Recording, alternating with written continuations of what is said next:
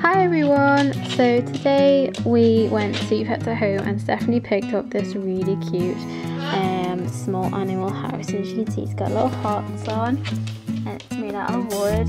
And Stephanie and me came up with a really cool idea that we were gonna decorate this little wooden house for the piggies with our soy paint. And I thought it would be really cool if we actually videoed the process and shared it with you guys to see what we created so just to personalize it. So yeah you guys can check out us putting this together and making it something special. And I'm sure the piggies will love it